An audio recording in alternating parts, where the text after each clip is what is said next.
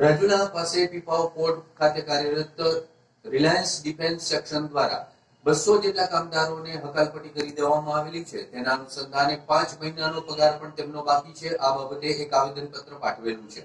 અને જો આગામી દિવસોમાં યોગ્ય કાર્યવાહી નહીં કરવામાં આવે, તો આંદોલનના ભડકારા પણ વાગી રહ્યા છે. Rajula Pipavav Reliance naval defence કંપનીના બસો કામદારોને વગર નોટિસે છૂટા કરતા હોબાળો મચેલો છે. આ કામદારોનો પાંચ માસનો પગાર પણ બાકી હોવાનું જાણવા મળેલું છે. આ બાબતે પચીસ જેટલા કામદારોને છૂટા કરવા બાબતે રાજુલાના ધારાસભ્ય તેમજ ડેપ્યુટી કલેક્ટરને આવેદનપત્ર આપી અમરેલી જિલ્લા મજદૂર સંઘ બીએમએસના નેજા હેઠળ આ આવેદનપત્ર આપવામાં આવેલું છે. અમરેલી જિલ્લા કલેક્ટર તેમજ કંપનીના ડાયરેક્ટર અને શ્રમજીવી અધિકારી શ્રી અમરેલીને પણ આવેદનપત્ર મોકલવામાં આવેલું છે. એક તરફ લોકડાઉનને પાંચ મહિનાનો પગાર બાકી અને વગર નોટિસે ચડત પગાર આપ્યા વગર લેબલ અધિકારીને જાણ કર્યા વગર જ છૂટા કયા આધારે અને કેવી રીતે કરવામાં આવ્યા છે તે મજદૂરો માટે મોટો પ્રશ્ન છે. જો આ બાબતે કંપની તરફથી કોઈ યોગ્ય નિર્ણય નહીં લેવામાં આવે તો અમરેલી જિલ્લા મજદૂર સંઘ છેલ્લે સુધી મજદૂરોના હક માટે લડશે.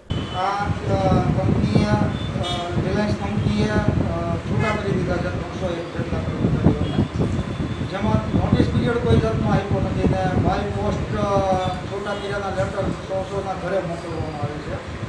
આ જે લોકડાઉન થયા પછી તરત જ આ પગલાં લેવામાં આવ્યા છે. લોકડાઉનની અંદર માણસો ખાધા પીધા વગરના જે સમય ગયો છે, એમાં વધારે પરેશાની ઊભી કરવામાં આવી છે. ત્રણ મહિનાનો